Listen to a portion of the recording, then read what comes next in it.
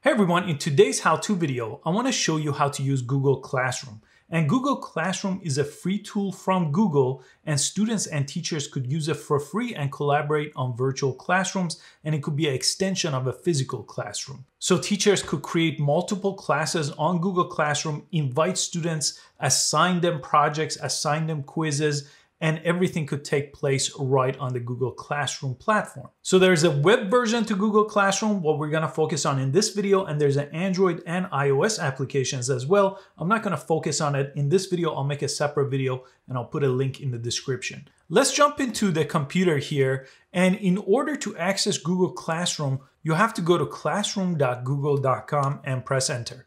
And on this page, if you have multiple Google accounts, make sure you select the right one where you want to create the classroom. In this video, I'm going to jump in from the teacher's perspective and the student's perspective so you kind of get to see both views. So I'm going to choose a Google account and press continue. And this should be the homepage of Google Classroom that you're going to see. And we could click right over here, this plus sign to create our very first class. This also lets you join a class if you're a student. So if you select join a class, you'll need the class code. I'll show you where that appears in a second. Right now for a teacher, you just press plus and create a class. Now it's gonna give you a pop-up most likely that's gonna ask you if your school is signed up for a G Suite for Education account, which is a free account that your school district has to sign up for, or you could be using it personally as a teacher and you could check this on and press continue.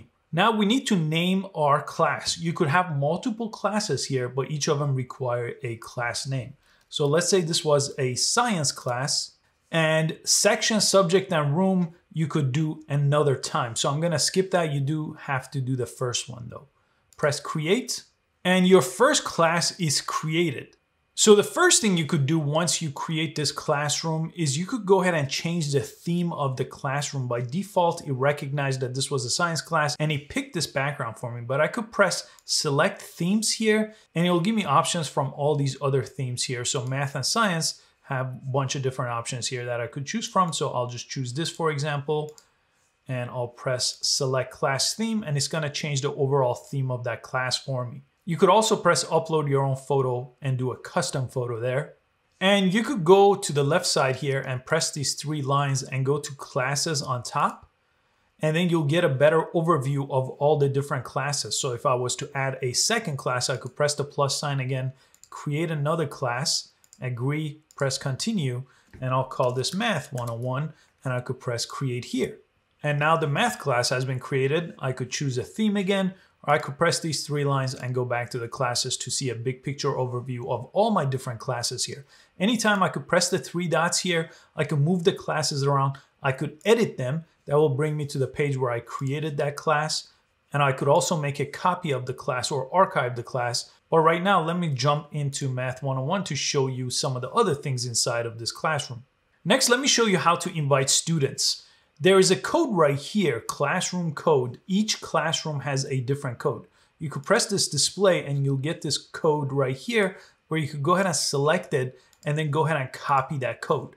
If you copy this code, you could send it as a message or as an email to students that you want to. Another way to do that is up here, you have four different tabs. If you go to the people tab, you'll see the teachers tab. That's over here where you could add other teachers if you want to collaborate or share your homework assignments, or you could invite students. So if you press the plus sign here, you could go ahead and send an email to a student and then you could press invite. So let me do that here. And an email has been sent to the other student. So let me show you what that email looks like. So this is the email the student will receive from you. Again, it's gonna say that I've invited you to a classroom and the name of the classroom, and they could simply press join to join the classroom.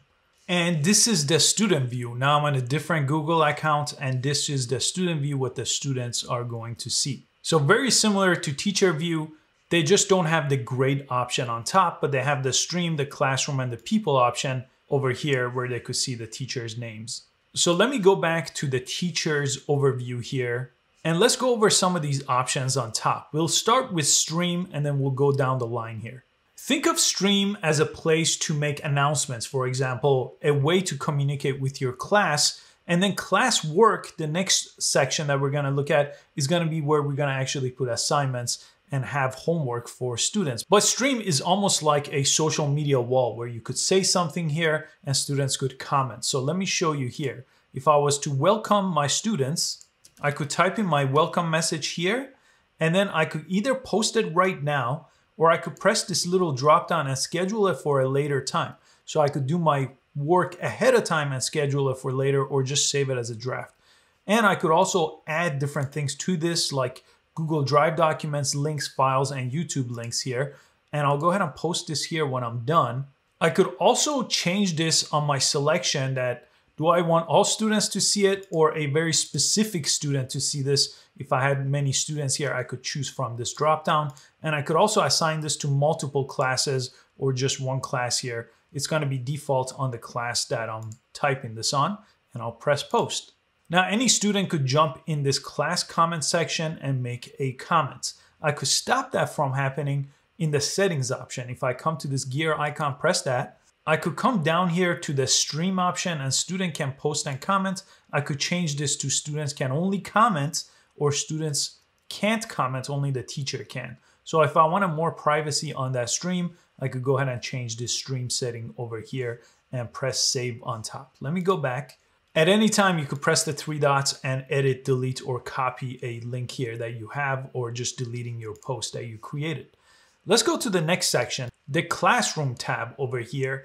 And this is probably gonna be the most useful place and where you spend most of your time on Google Classroom.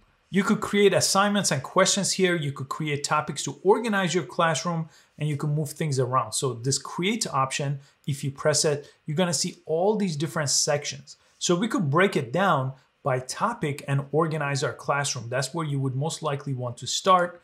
Press that, and let's say algebra was topic one. I'll press add, and then let's create another topic called geometry. Press add. And now you have a couple of different sections, and you could drag these around here. Now I could go ahead under algebra and I could press create and I could add an assignment. So I'll put an assignment here and I could title this assignment. You put a title to the assignment and the instructions of what you want the students to do. You could go ahead and add Google Drive documents. For example, if I press this, it's gonna get access to my Google Drive.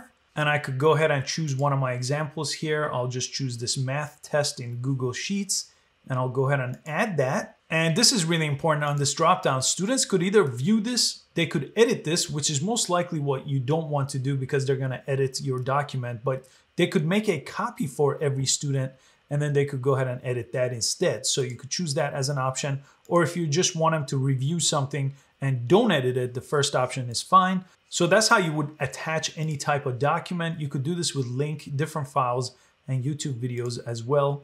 You could also create from scratch by pressing create. I already created this Google Sheet, but I could create it over here or any number of these other type of documents like Google Form or Google Docs. And on the right side, I could say what class this is for. If I have multiple classes, I could assign it to multiple classes. I could do this for specific students. I don't have to do this for my whole class.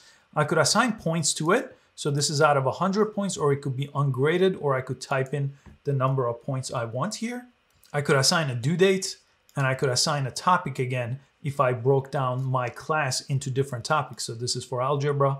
And then I could go ahead and press assign to all students on top. Or I could press the drop down and schedule this for a later time. I'll press assign. And now if I go back to the stream section, you could see that assignment is gonna show up here. So this is a good place to see a big picture overview of your class. Let's go back to ClassWorks here again. And again, you could press create and you could explore all these other options here like quiz assignments. They're all very similar to what we just went over, but for quizzes, for example, you could go ahead and use Google Forms. That's a really good option for creating quizzes here. Another Google platform that works very well with Google Classroom. I have a different video on Google Forms, so I'll link that in the description below if you want to learn how Google Forms works. Pretty straightforward. Let me press X and get out of this page. Now let's go back to the Peoples tab here. This is basically what I showed you where you could add students by pressing the plus sign and inviting teachers up here. You could always select students here and you could remove or mute them or you could email them here. Very easy option by selecting them individually. And now let's go to the grade section here. And here you could see the different students here, the quizzes that were assigned, and then the class average here. This is a good way to see the big picture overview of your grading. So let me go to the student tab and I'll show you what that quiz that I received from a teacher looks like and how I would answer it. So now I'm back in the student view here. Again, on my stream, I could see that I've been assigned a quiz. I could go ahead and select that here. And I could go ahead and add my work if that is required by pressing add over here and choosing any of these options to add my work. Or I could click the quiz over here and go ahead and answer this question and I'll press submit.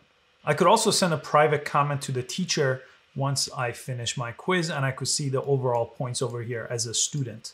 So now that I answered that quiz, let me go back to teacher's view. Now we're back in teacher's view and I could see that quiz one was turned in. The person that submitted that Google form document, it's been turned in. And now I could press turned in over here.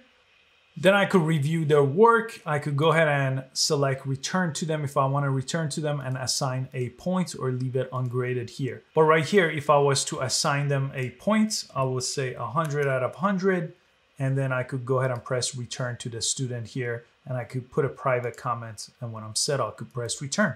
Now, if I go back to the classes again and go to the math class and come to the grades section over here, I could see that student got 100 and I'll see the rest of the students and the class average over here.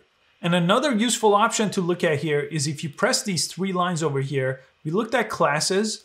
You also have a calendar overview, especially when you schedule things in advance. This becomes really handy to see a big picture of your week. And then you also have a to-do list. So if you come over here, you could go ahead and choose one of your classes here and you can see everything that has been turned in or assigned and graded all over here in a quick view and that's to review section and then there's a reviewed section of everything you've reviewed really great easy way to see the big picture overview of your class and your to-dos and i'll put a link in the description this is classroom frequently asked questions on everything i wasn't able to cover in this video so if you have any questions jump into this page and see if you find your answer here I hope you found this Google Classroom video useful. Please give it a thumbs up and subscribe for easy to follow how-to videos, and I'll see you next time. Thanks for watching.